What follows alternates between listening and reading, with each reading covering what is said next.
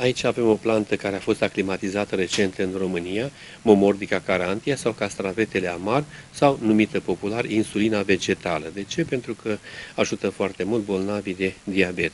Această plantă este, fructul acestei plante este benefic sănătății, pe lângă faptul că ajută bolnavii de diabet, uh, sigur uh, curăță organismul de anumite substanțe nedorite uh, și ajută foarte mult prin substanțele chimice pe care le conțin, în special grupul de momordicine um, să se refacă foarte bine ficatul, pancreasul, fie, drenează fierea și mai ales întărește imunitatea în această perioadă când avem nevoie de o stare de sănătate bună și în special de imunitate puternică. La fel este o plantă antivirală, um, apreciată și ea ca anti-HIV în afară, în special în Asia uh, uh, și uh, putem să vorbim de ea ca o plantă care contribuie la întărirea um, imunității organismului.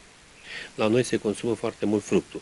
Eh, când este crud, eh, poate fi folosit eh, cei care pot să-l utilizeze pentru că e foarte amar, de aceea poartă și denumirea de castravetele amar, însă mai accesibil este când acesta a ajuns la maturitate, când s-a îngălbenit, atunci, sigur, e puțin mai dulceac și poate fi consumat. În funcție de dorința fiecăruia. Poate fi folosit în stare proaspătă sau în diverse preparate culinare sau chiar deshidratat, măcinat și folosit în capsule capsule.